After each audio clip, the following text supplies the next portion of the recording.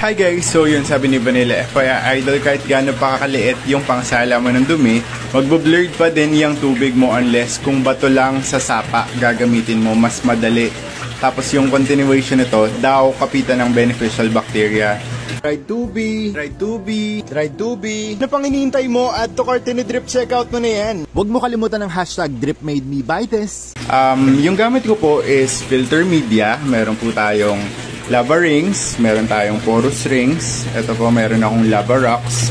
Ito mixture ng pumice stones and lava bits.